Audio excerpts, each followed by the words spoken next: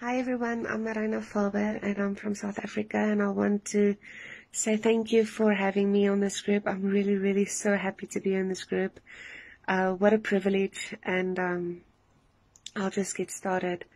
Um, I had a dream where I was in this, um, yeah, yeah, the dream was about three phases and um, the first phase was where me and my husband we were in a shopping center and um, I noticed a few girls and they weren't dressed properly and um, I remember my husband telling me that I'm going to buy them some clothes just to cover some stuff up um, because they were very naked.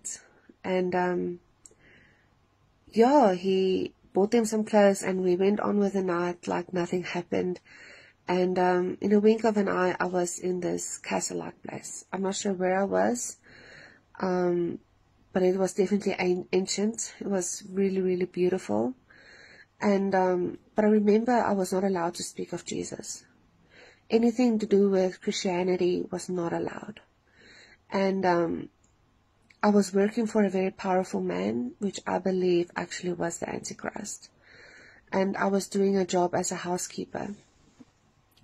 And um, as I walked, it was the end of my well the end of my shift, and I walked um, into this room, and the Holy Spirit told me the room was dark, and He told me that listen, can you please wash the walls? And I was like, okay, um, why? And He told me because one day my, my, my children is going to be here, and when they smell the smell of the walls, they will feel my presence. And I and I saw there was washing powder next to me, and um, I thought that was really weird, but I love the smell of washing powder. It makes me feel so.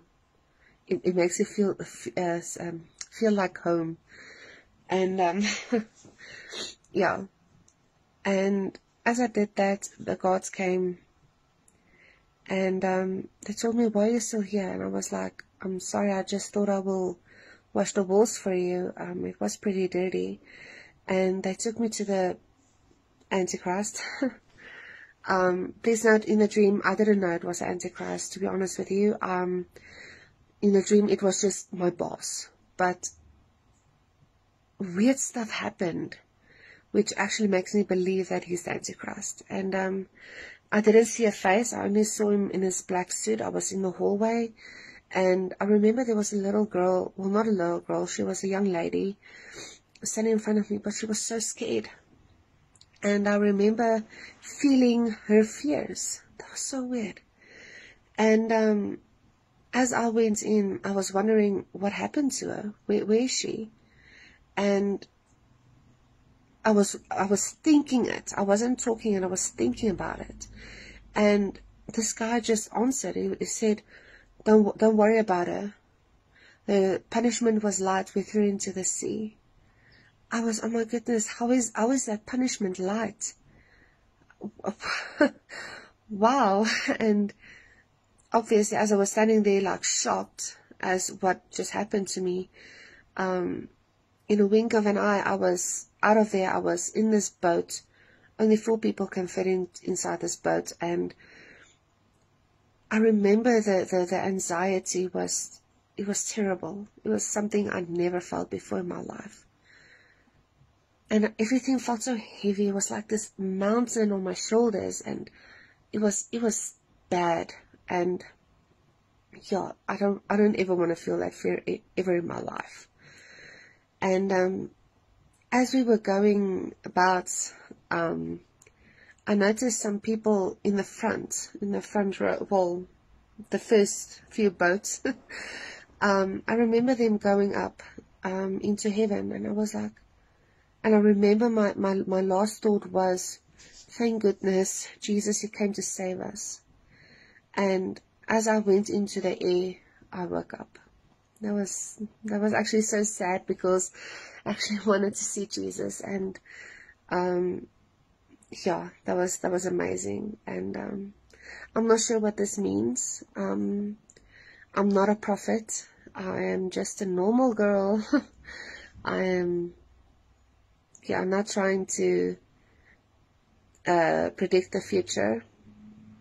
Um, everybody who has a vision really strongly believes that something like, like that will happen eventually.